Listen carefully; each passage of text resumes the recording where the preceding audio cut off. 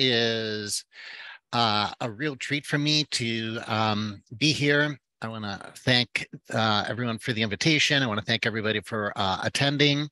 I'm actually bringing up right now my uh, little chat box here. So, oh, and participants box as well. Oh, wow, we got a good crowd. Wonderful.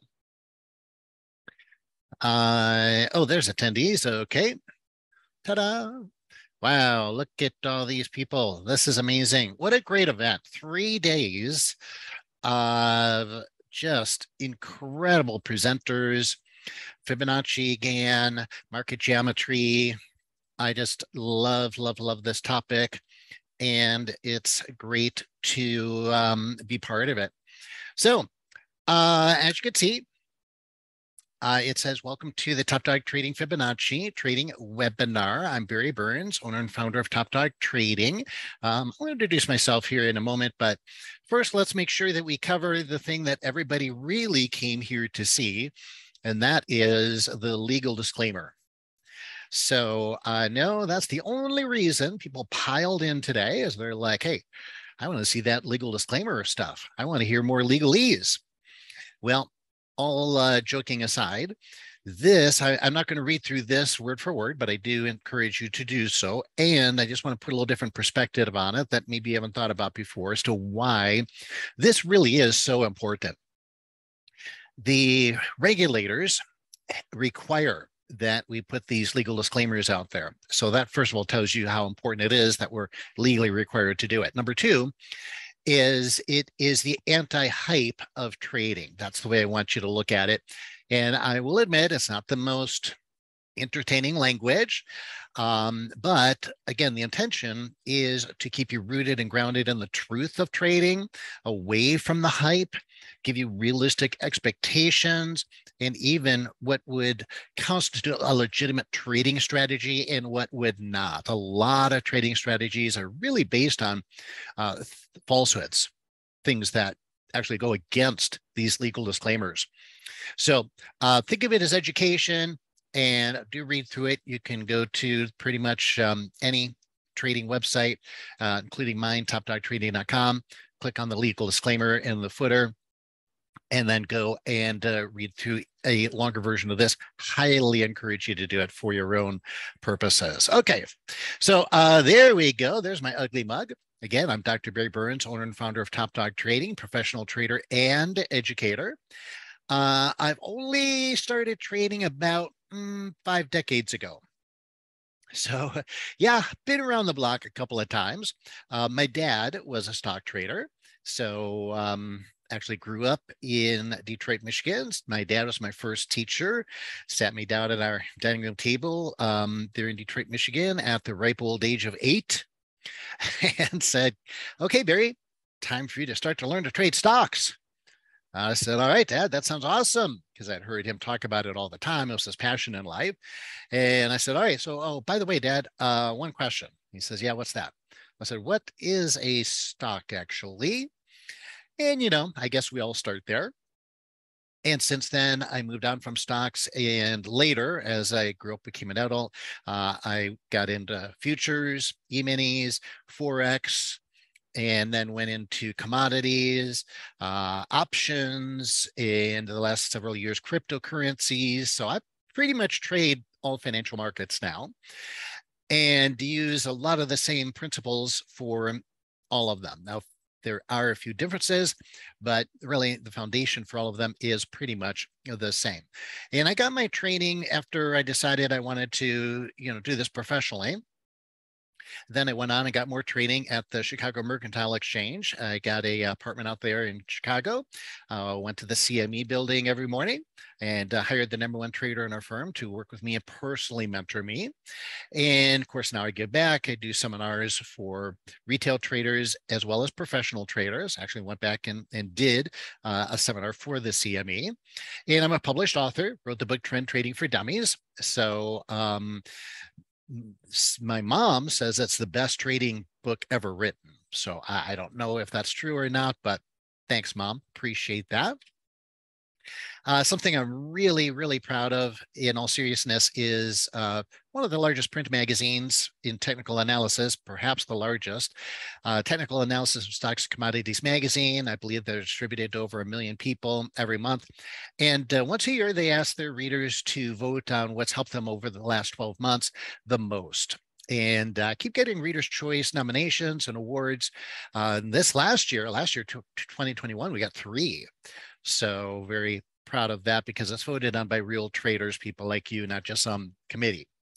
Uh, oh, and I give away a lot of free information. So I love to just give free things to the trading community. I've got my podcast, check that out. Um, my YouTube videos, uh, check those out. We're almost, I got to update the slide. We're almost up to 100,000 subscribers now.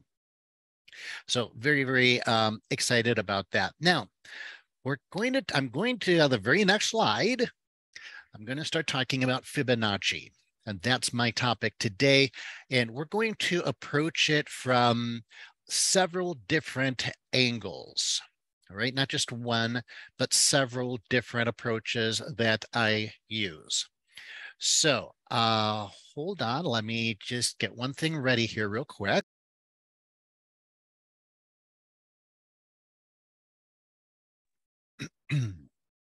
okay, had to wet my whistle.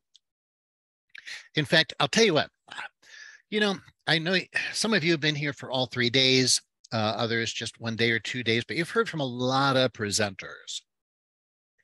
And so I want to do something that I think is a little unique. Before I even get into the Fibonacci techniques themselves, let's talk about something super, super important that can be very, very practical in helping you become a profitable trader. And that is perspective. Okay, so I'm not changing slides right now, just so that everybody knows. The uh, Top Dog Trading uh, YouTube channel slide is still up there, and it'll be up there for a few minutes as I talk about this. Because I find that a lot of traders, when they want to become profitable, they're just looking at techniques, tactics, concepts, indicators, things like that. And, and those all have their place for sure. But at the root of success in trading is your approach, your attitude. And here is, you know, most people think, well, I'm trading for the money. I want to make more money. And I even get this question a lot. In fact, I'm going to be doing a podcast on this real soon, might even do a YouTube video on it real soon, where they say, Barry, if you're making money trading, then why do you bother to teach? Why don't you just, you know, just make your money trading while you're teaching? And I always find that question a little disturb, uh, disturbing, though I understand why people ask that.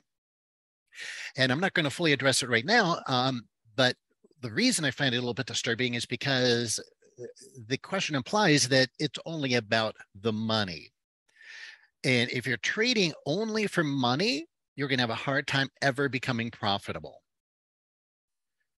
because you know and a lot of people do that. They trade for it's like a point system and they see their p&l go green p&l go red goes up 100 goes down 200 goes up 500 it's like numbers it's like points. It's almost like a video game you know they're treating it like a video game. And it's just numbers and and then dollars and they want to make the money honey. And the problem with that is that that's when emotions come in that are detrimental. So probably most of you have heard that the two primary uh, um, problematic emotions in trading are fear and greed. And that is true if you're trading because you want to make more money. People have fear over money. People are scared of losing money. People are afraid of losing security in their retirement. Fear, fear, fear, fear, fear over money and greed. I think that one's even more obvious. People get greedy, they want to make more money. Maybe they want to get their Lambos or whatever. Maybe it's probably not that extreme for most people, but they want to make a lot of money. So as long as you're trading for the money, you will have those emotions and those emotions will undermine your trading. I don't care what technique you're trading, whether it's Fibonacci, Gann, indicators, moving averages, candlestick patterns, whatever, you might be a perfect analyst of the markets and of charts, but are you really going to be able to perform? And the answer is most likely not, because you've got to apply those things. And, and a lot of you have been trading with real money. You have had the experience where your emotions, discipline, or lack of discipline uh, betrays your technical analysis, even if you're great at it. And you find, like St. Paul says in the Bible, the things that I find myself, well, I find that the things I want to do, I'm not doing. And the things I don't want to do, I find myself doing. That's a common experience with traders as well as in a lot of life. So to finish up this uh, little part of the presentation, which is unique and not really even official part of the presentation, I just thought, well, with all the other presenters here, I want to bring something unique to the table. Um, and that is this. Trade for a reason bigger than the money, bigger than yourself. So for me, what I did, and my biggest challenge in trading was over trading. I identified my cardinal sin. I was over trading. And so here's what I did, and you can adapt this little um, approach to you personally. Each one of us has to um, individually customize this for ourselves. So I said, okay, as long as I'm focused on the money, I get emotional, fear, greed, FOMO, FUD. And and also the other thing for me was I felt like I wasn't really my profession of trading wasn't contributing anything to the world. I'm just making money for myself, but I'm not really helping anybody else. And for me, that bothered my conscience. I actually went through a crisis of consciousness over this. Uh, conscience and and I went and I actually talked to a, a trading professional about it, and he looked at me like I was nuts because to him it was all about the money too. So I uh, thought about this, meditated about it, talked to my wife about it, talked to some of my my friends, my spiritual leaders, and so forth. And here's what I decided to do. So for me, one of my um, favorite charities in the world is called seva.org. Okay, and I'll, I don't know if everybody can see this or not, but I'm going to type it into the uh, chat box. And I have nothing to do with them other than I contribute to them. I'm not on the board or don't have any financial interest in them or whatsoever. But what they do is for 50, they do a lot of stuff, but the part that I participate in financially is that for $50, you can heal a blind child. 50 bucks. A kid that'll be blind for the rest of its life, uh, you can give it sight. That's pretty amazing. And you can check out the website and, and see how. But uh, they would otherwise be blind for the rest of their lives, meaning they would also probably never get married, never get a job, they'd be a beggar. And oh, they also can't see, as if that's not bad enough. So their lives are just terrible. But I can turn that around for 50 bucks, and so can you. So what I do is I just say, okay, instead of thinking about the money when I'm trading, I'm thinking, how many blind kids can I heal today with my trading? And obviously, I take a percentage of my my trading uh, profit and uh, send that over to seva.org. And that cured me of my number one problem that I already mentioned, which was over trading. When I focus, when my mind is focused on, oh, I'm here to heal blind kids, all of a sudden I'm more careful about taking trades because it's not about points it's not about numbers it's not about p&l it's not about dollars or yen or euros or pesos or won it's about these kids being blind, for goodness sake. And so that made me slow down and say, okay, wait a minute. Is this a good enough trade that I'm more likely to be able to, you know, send some money and help uh, a kid have sight again? And that for me solved my problem of overtrading. So I'm going to finish with this. Becoming a successful trader when you have this approach, and again, for you, might be a totally different uh, charity, might be your churches, whatever. Okay, you decide that between you and your family, and it has to be. And, and someone told me this: the right cause for you is the one that brings tears to your eyes, and I love that. The right cause for you is the one that brings tears to you uh, to your eyes. Now, when you trade for that cause, all of a sudden becoming a successful trader is not an option. It's your duty. It's your obligation. It's your responsibility. You must do it. And it's a mission. It's not just a job. It's not just fun. It is now a calling. It is a, not um, just a job. It's a vocation. So that's my um, that's my sermon for the day. okay. But I share that with you because I don't hear that from a lot of traders. And at Top Dog Trading, you know, I, I integrated a number of years ago personal development and spirituality into the trading. And this is a little sample of it. And I don't do that to make money. I do it to bring perspective because that's what helped me. And I think it makes the whole world a better place. So um, take it or leave it up to you, but I offer that to you. Okay. So that had zero to do with Fibonacci, but I think it had a lot to do with life. So let's move on. And now we'll actually talk about Fibonacci. All right. So we're going to start out. We're going to talk about several different Fibonacci techniques. I'll call them techniques. So let me bring up my little laser pointer here. Yeah, you can see that. Okay, so we'll start out by talking about Fibonacci retracements. And this is just, this slide is just to give you the big picture before we go into more detail. Um, because I used to start with slides after this, and then I realized people didn't understand the overall context. So I want to give you a big picture context here as to why we even use Fibonacci, and then we'll, we'll go into more detail. So big picture is something like this, where we get a, a big trend down, big move down, all right, from that high to that low. And the question is, all right, now we want resistance levels overhead to find where this market might stop and then put a swing high and go back down again. Okay, so what we do is we have a drawing tool which uh, depending on your charting platform, you can ask your charting platform support team, you know, where the drawing tool is and et cetera, because it'll be different for each one. But you draw, uh, it's a two point um, drawing tool. So you, you click here, you drag it down to the low. So from a high to a low, and then you unclick. And then it'll automatically plot these retracement levels. And that's what it is. So will the market retrace 23.6% from that high to that low? That's what that level is. Or 38.2% back, or 50% retraces half the way back. Or as you can see, if it retraces all the way back to the high, well, that's a 100% retracement. All right, so that's uh, the kind of thing it is. So bottom line is it's used for support and resistance levels.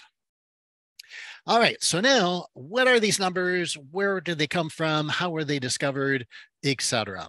Well, it's actually rooted in a sequence of numbers that was named after Leonardo of Pisa, who was known as Fibonacci, which simply means son of Bonacci. That's how they often referred to people back in those days.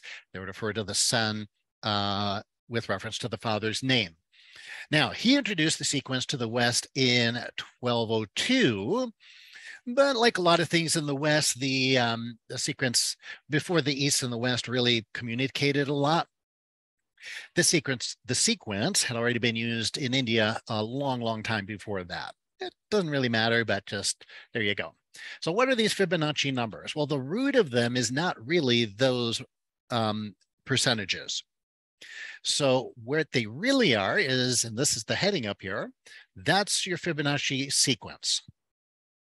So the sequence, which is the core of Fibonacci, is a sequence of numbers beginning with zero and one, and then each subsequent number is the sum of the previous two. Okay. Again, the sequence of the numbers is you take the subsequent number, or the subsequent number is the sum of the previous two. So let me show you what I mean by that. So we started with zero. We had zero plus one equals one. Okay, uh, this is high level math here. So you can probably tell Leva, I don't have a PhD in mathematics from MIT because I, I can do, I learned this in uh, kindergarten. All right. And then now if we take this, okay, one plus one equals two. So one, if you look up in the header here, there's your sequence one plus one equals two.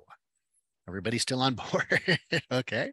So what are we doing here? Well, zero plus one equals one. So then you take one and one and you add those together and you get two. Okay, then you take your one and your two here and you add those two together. One and one equals, or one plus two equals three. So our sequence is, this Fibonacci sequence is one, two, three. Well, do we really need any kind of math equation for that? And there it is up there, one, two, three. Okay, and here's where now it's the Fibonacci starts to kick in a little bit. Because now if you add the last two numbers, two and three, oh, we skip four and we get five. So the actual sequence is one, two, three, five. And now as you'll see, it'll take the last two digits of that previous equation, three and five, add those together, you get eight. So the sequence is one, three, five, eight. All right, and again, I don't need to belabor this point. And then five and eight equals 13. And there you see it, one, three, five, eight, 13 and 21 and on it goes. All right, we're not gonna, like I said, belabor all that point. But the question now is, okay, so that's the core of it, but why are they significant?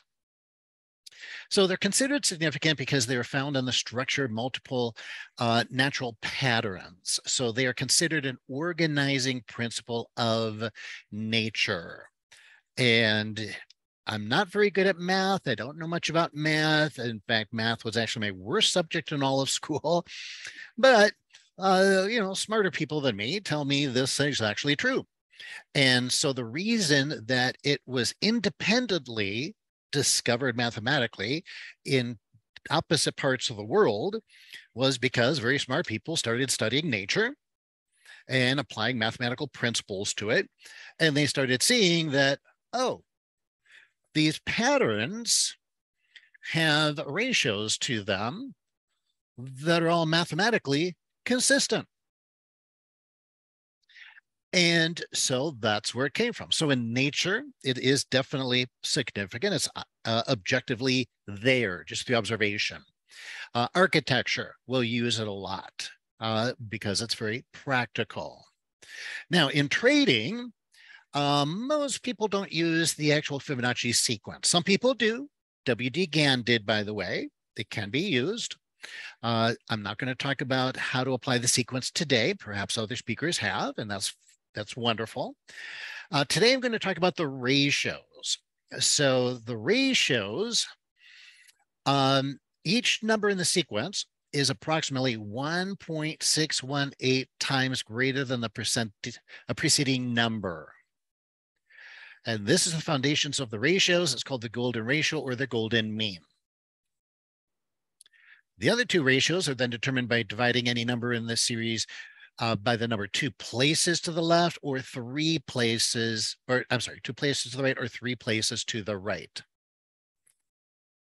Okay, so let me just give you an example of that. So there's our sequence. So 61.8 found by dividing any number in the sequence that's found one place to the right of it. So if we start here, 1321. Okay, 13 divided by 21 is 0.619. Okay, then if we go to the next two, 21, 34, divide 21 by 34, 0.617. Very close, right? It's roughly 618. 34, 55, and that's what you'll see every single pair of these. That's one of the um, interesting things that just happened. So we start with the sequence and then they started to notice, oh, wait a minute. When we divide these numbers by the number to the right of it, we always get uh, 0.618 approximately. So that is the primary, if you're a Fibonacci purist, that's your primary ratio. That's the golden ratio. And some people will just use that one and that one alone and that's perfectly fine. That is the ratio. Now, there's other ratios that people use, including myself, 38.2, and we'll find that this one is also consistent. But this one's found by dividing any number in the sequence that is found two places to the right of it. So real quickly, so we start with 13 again, but this time we go two numbers to the right of it, 34. And when you divide 13 by 34, you get your 0.382. 21, again, skip the one to the right, go two to the right. Okay, and there you go, 34, skip the 55, go to the 89, do the right. Again, you get your point 382. And then the 23 is found by doing the same thing, just going three places to the right. Again, I'm not going to go through all of them. You get the idea. All right, so again, if we look, start with a 13, now we skip three to the right, one, two, three. So we're going to divide 13 by 55, and we get our 0.236. And we could do that all the way through the Fibonacci sequence, which is essentially eternal, never ends. And you'll always get that ratio. Okay, so that's where those percentages come from. Now, there's a couple of other percentages that we use. Again, 61.8 is the primary one. Uh, 38.2 and 23.6 are secondary Fibonacci ratios. So where do the other two, 50% and 76.4% come from? Well, first of all, 50, 50% is technically not really a Fibonacci ratio. Uh, I have seen some people come up with creative ideas as to explaining why it is. That's fine. I don't really care. I'm not going to argue the point. Uh, academically, again, I'm not a mathematician. I've seen the argument. Um, again, I just don't think it's important enough to have to defend. I've seen lit, it, or I've seen markets hold the 50% retracement level so many times. I'm just practical. I'm not interested in the theory or the mathematics of it. I'm just interested in is it going to is the 50% going to help me heal some blind kids? Right? That's how I always look at it. And the point is that, yeah, it does. The markets do. Uh, people do buy off of this level. People sell off of this level. Take, people do take profits at this level quite often. And WD Gann used this level a lot. So whether it came from Fibonacci or Gann, I don't care. I just want to know, is it going to help us make some money? And then 76.4 uh, that's also not a Fibonacci ratio. It's simply the mirror of the 23.6. In other words, 76.4 plus 23.6 equals 100. Now, some people, again, if you're more of a Fibonacci purist, then you would use 78.6 instead of 76.4. And that is a more, um, more numerically correct if you're into the numerology of it, simply because it's the square root of 0.618. Um, so why do I use 76.4? Again, because I'm practical. I'm more interested in the practicality of it. And when we're looking at the 76.4 and the markets are coming down to that level, it'll hit 76.4 before it hits 78.6. And I've just found that it, it, it will, if I use it as a target, for example, to take profits, I get filled there more often than if I wait for it to go to 78.6.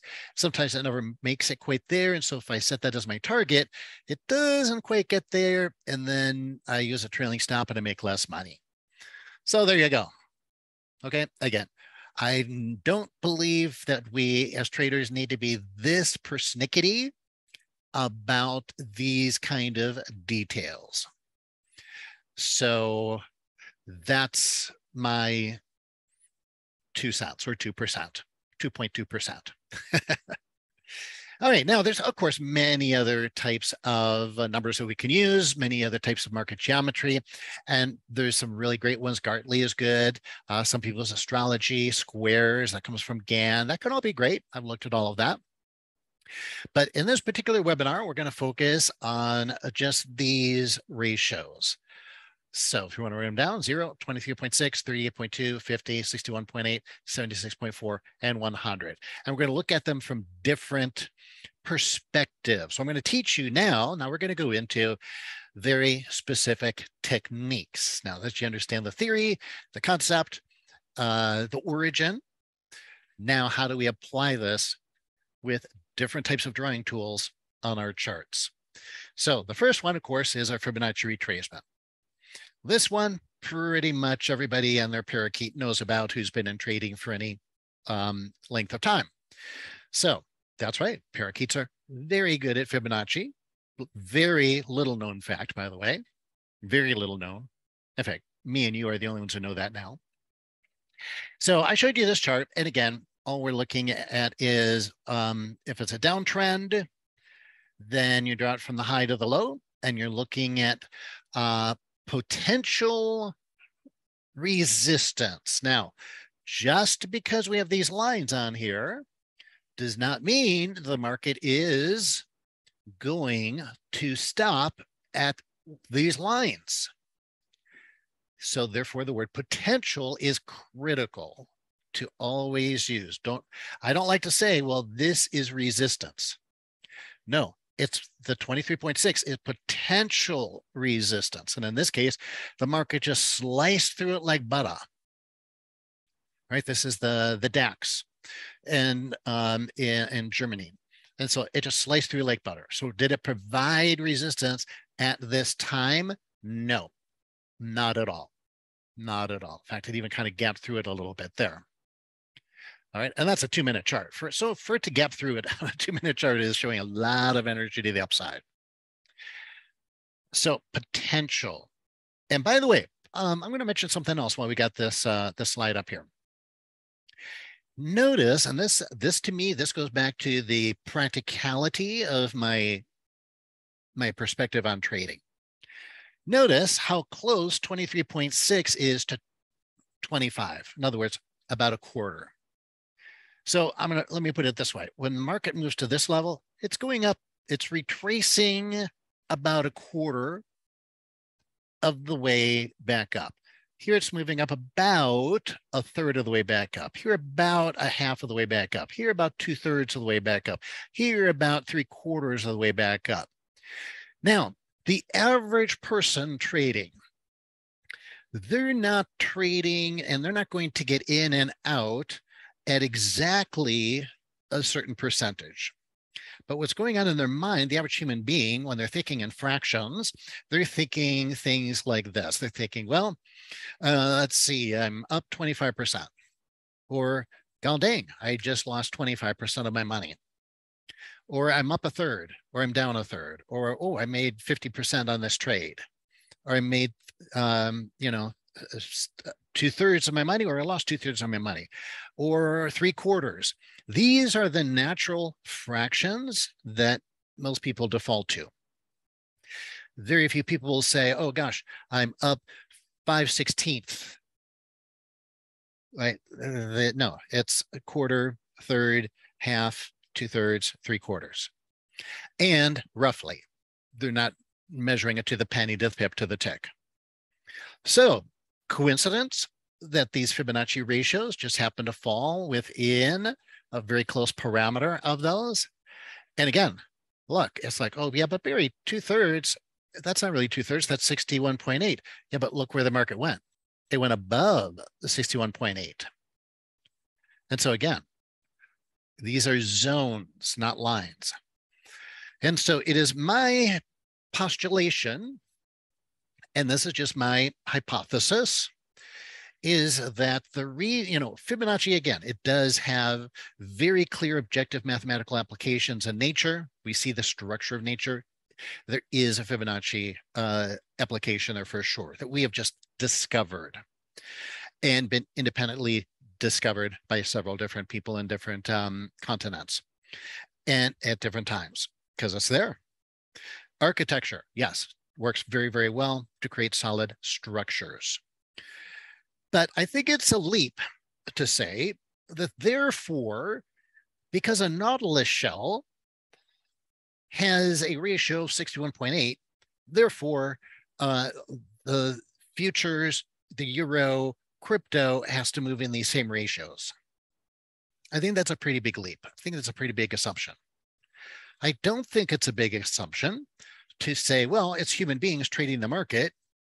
And our natural inclination is to look at making a quarter or losing a quarter, a third, a half, two thirds, or three quarters in that area. And again, you notice it doesn't stop right on these lines. It's a little bit above it, a little bit above it, uh, a little bit, you know, below just kind of hovers around the 50% level. To me, Uh, that's why Fibonacci ratios, quote unquote, work. And people have applied them now that people have applied them and they said, oh, look, it works. Fibonacci's in the markets. it now has become a self-fulfilling prophecy because now not only do we have people projecting their rough percentages onto the market, now we actually have people who are using these tools because now these tools have been added to most every trading platform out there. And that adds even more to their effectiveness because now, because people use the tools, they actually now have a self-fulfilling prophecy of just masses of people using them.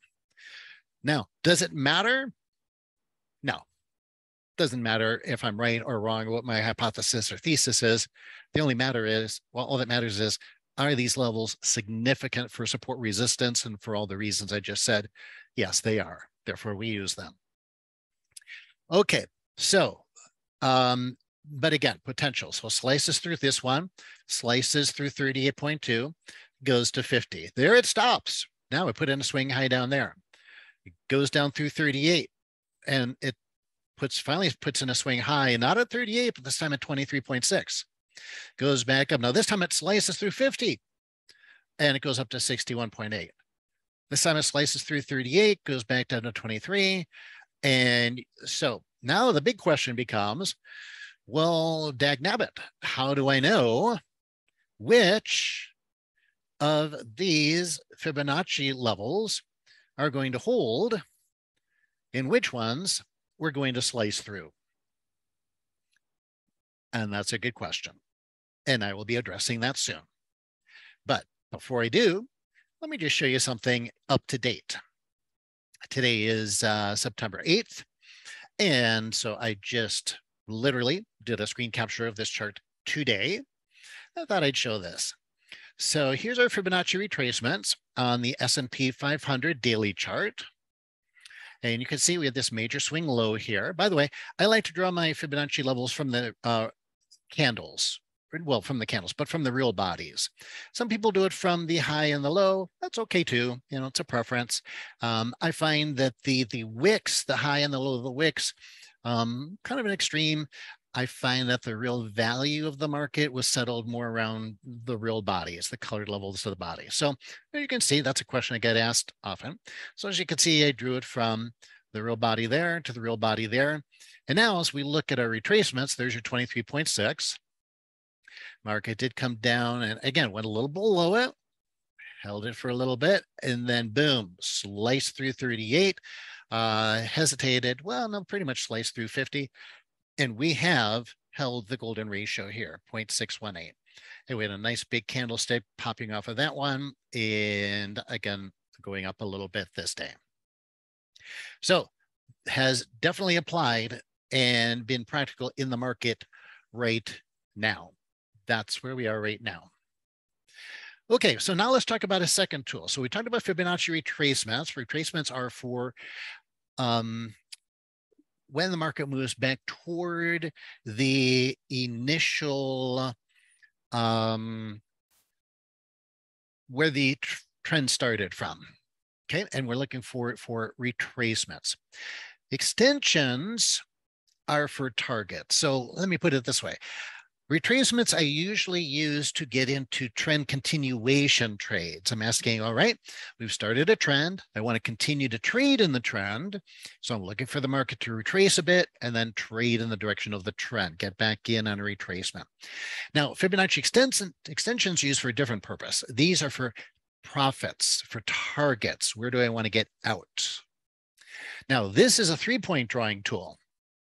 So you click, you wait for a, uh, a trend, there we got our high to our low. Okay, we could have drawn our Fibonacci retracements there. But for the extensions, we have to do three clicks. Click, click, and then we got to do one more click. We wait for the next high and we click there. Now, you'll notice that these ratios are drawn below where our final click was, whereas the Fibonacci retracements drew above where our final click was. And that's because now we're looking for a target, profit targets. And so now the same ratios, okay, the ratios don't change, but now we're looking for, all right, when will this end? So came all the way down, pretty much sliced through all of these. It did bounce off the 76.4. If you took profits there, I would say that's a reasonable thing to do. Came back up, hit the 38.2. and then finally went down to the 100 level. That's called a measured move, by the way. If you're going to use Fibonacci extensions, you should very much be aware of it, measured moves. They are probably the most used Fibonacci extension that people are looking for for profit taking. And it literally just means the move from that high where we clicked our last click on our tool to that low. That's a the same distance and price as from the initial two clicks. 100%. Now, another thing we can do is we can look for Fibonacci clusters.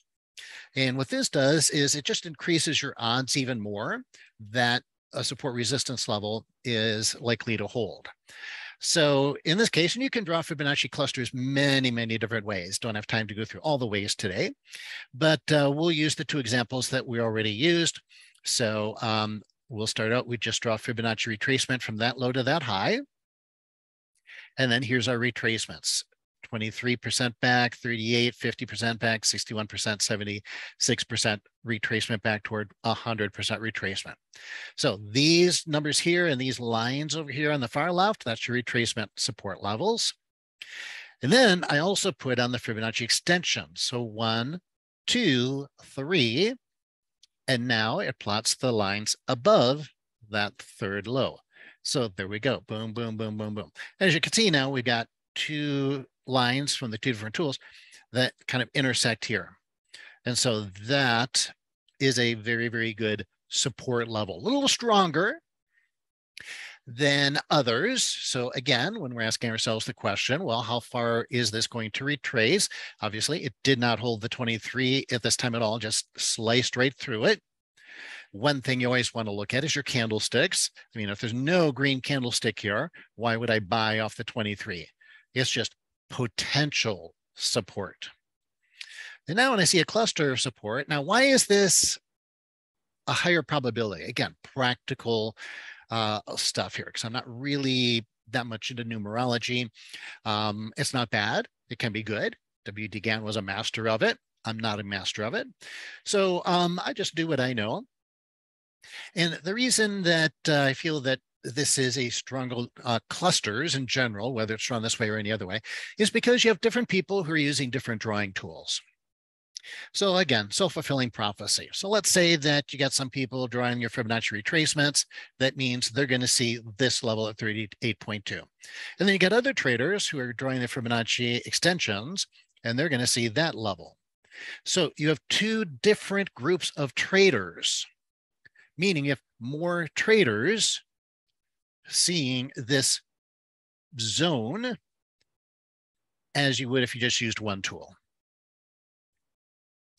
All right, now let's get into some more advanced stuff. Okay, those are the basics. That's like kindergarten, first grade, third grade, elementary school Fibonacci.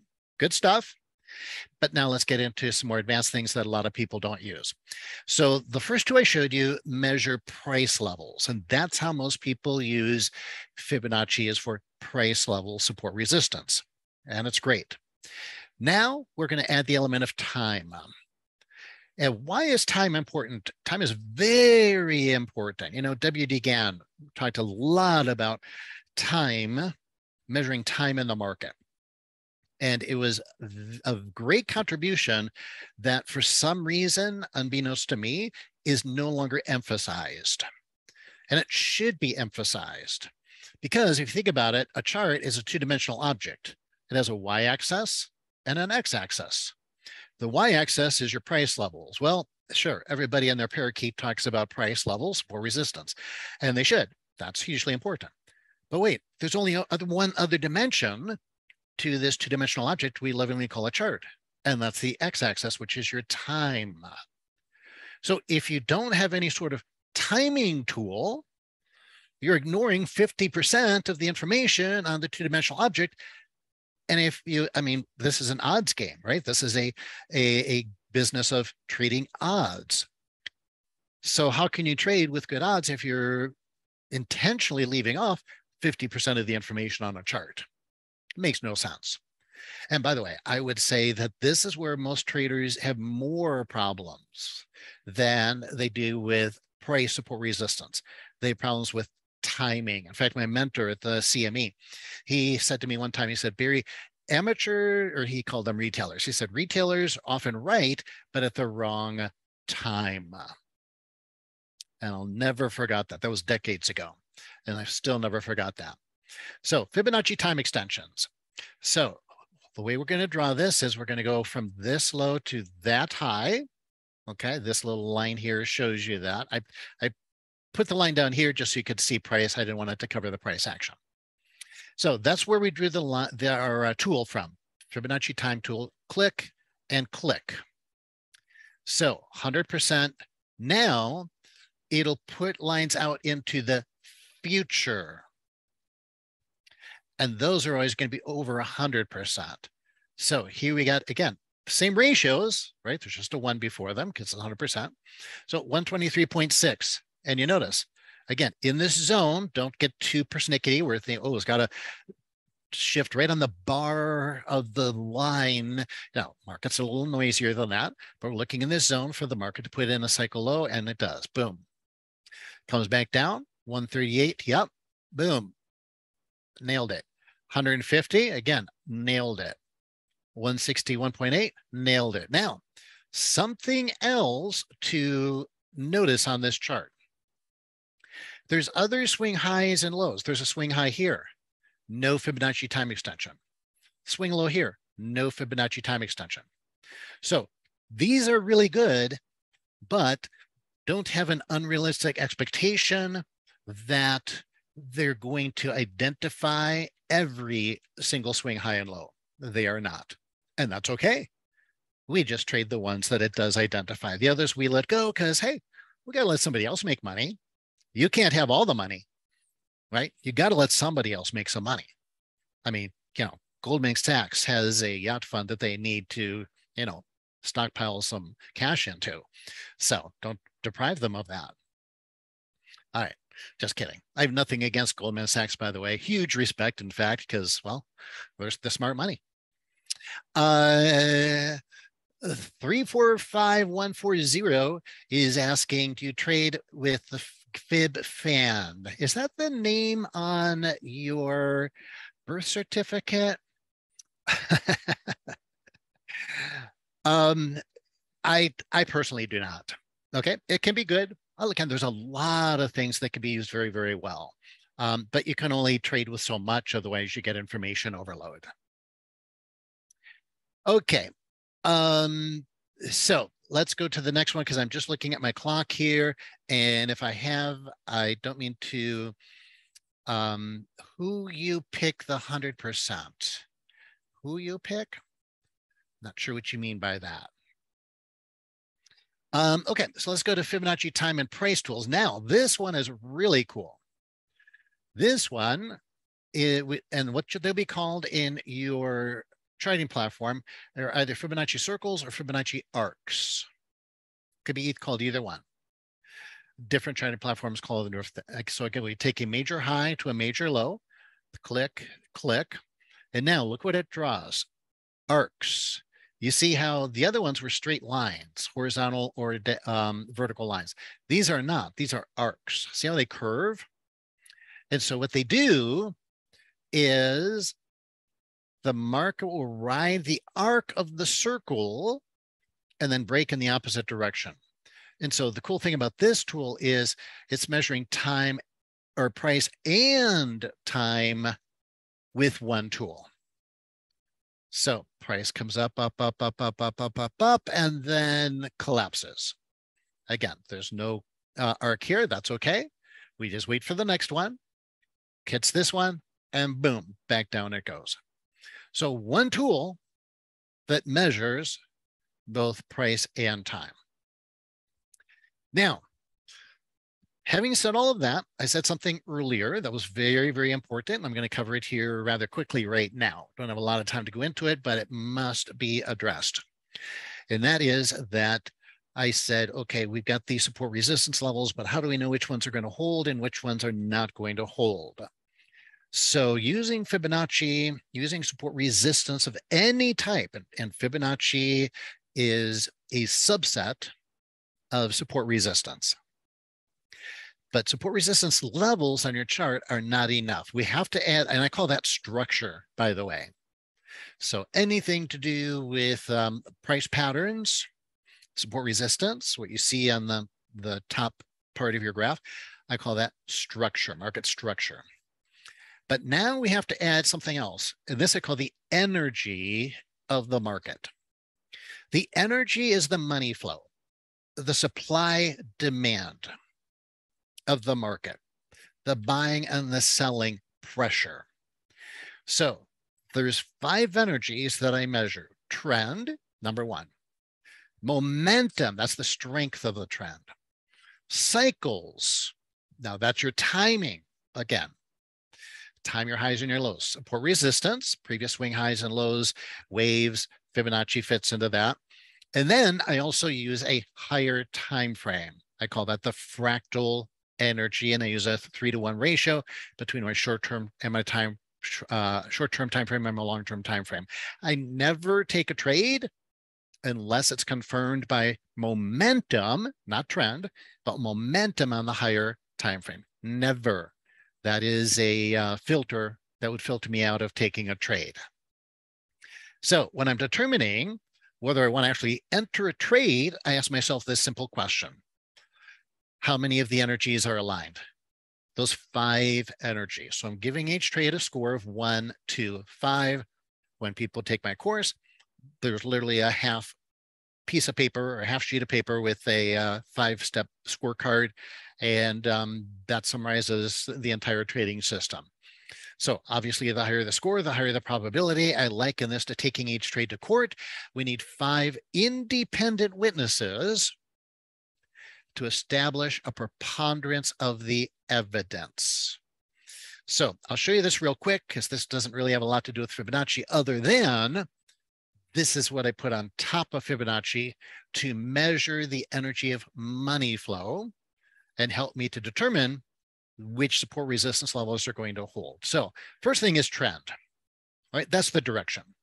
This comes first because, well, if the trend is up, we only want to buy. If this trend is down, we only want to short or buy puts. So it's a binary decision. And if there's no trend, we just don't want to trade. So that's the very first thing. All right, establish the trend. Now you know, okay, do I want to be bullish or bearish? The second one is momentum. Now, this tells you whether that trend is strong or weak. So we've got an uptrend here, higher high, higher low, higher high, higher low, higher high. And that's all great, except for one problem. Now our momentum indicator down here, we've got a higher high, higher low, higher high, whoa, lower low. See how there's a higher low on price, but a lower low on momentum and another lower low on momentum.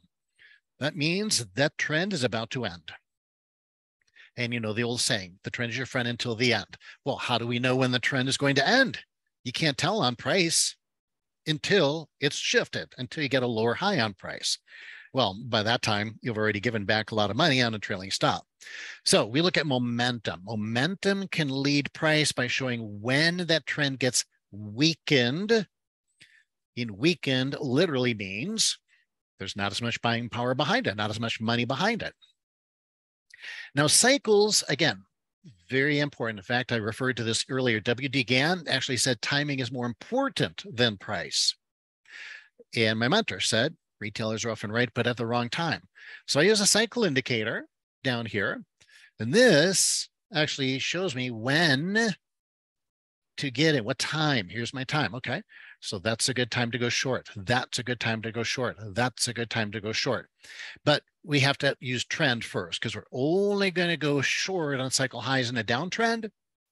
And we're only going to go long cycle lows in an uptrend. And then we bring in our support resistance. And here's our Fibonacci. So again, 50%. And if I put it all together, you can see we've got our retracements level goes back up, up, up, up, up. There's your cycle high at the 50% Fibonacci. Look at the momentum, very weak momentum above the zero line. That's your zero line. So markets will not break through. Well, in order to break through resistance, markets need strength. And strength just means buying power, demand. And this indicators are math functions and it is mathematically telling you, no, there's not enough strength to break through that resistance level. And so it's time.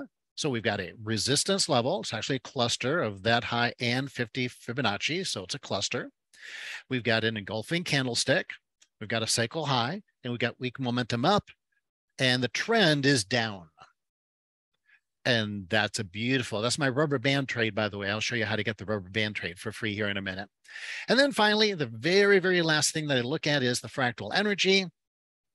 Again, I'm using two charts. Two, I've got a two minute over here, a three minute or six minute over here, whatever time frames you want to use is fine, but should be a one to three ratio. And again, I don't care what the trend is on the longer term time frame, but I will only take a trade on the shorter term time frame if it's in the direction of momentum of the long term. Remember, momentum means strength. So I want there to be bearish strength on the short term chart and bearish strength on the long term chart. So trend is down, cycle high, resistance at that level right there. Momentum's down here, momentum's down here, and that creates a big move down, big reward. So my risk is the range of that bar and my reward, well, it's big. So uh, this approach is very robust, works for all markets, all time frames. Uh, you can do this for day trading, swing trading. You can do it with pretty much any market. So my time is done. And unfortunately, I didn't bring anything to sell you today. So I'm sorry. I know you guys are really miffed that I don't have anything to sell you, but I do have something free. So I mentioned real quickly my rubber band trade there. I showed you a quick example. Didn't have time to go into detail, obviously, because we have our next speaker coming up in just two minutes. So I'm just going to give you the rubber band trade strategy for free. How's that? Give you one of my courses for free. So um, all you have to do is just go to rubberbandtrade.com and you can pick this up uh, 100% free. And what you're going to get in this course is my rubber band trade strategy. You can trade this, obviously. Please trade it on a demo account or simulator first. Prove to yourself that you can make money with it. And then that's my gift to you make money. And if you want to buy my courses later, you can. If you don't want to, that's fine too. Whatever. Uh, I'm just here to serve you. And the course is talked or is called How to Make Money by Breaking Every True uh, Trading Rule You Ever Learned. It's got five little videos in it. There are quizzes at each one, so you get feedback, make sure you're on track. And then that cycle indicator I shared with you, that's included as well. I'll show you how to set that up. So all of that 100% free. And uh, there you go. David just typed it in, rubberbandtrade.com. Yep, that is the link. Thank you. And by the way, if once in a while we have a problem, that's a redirect. It's a what they call a pretty link. So every once in a while, the pretty link uh, doesn't work for some people's browsers or whatever. So I just typed in the ugly link. That's the direct link in case the uh, the pretty one doesn't work. Okay, well, thank you, everybody. I appreciate uh, the invite, appreciate being here, and uh, I'd better go and um, let everybody transition to the next speaker.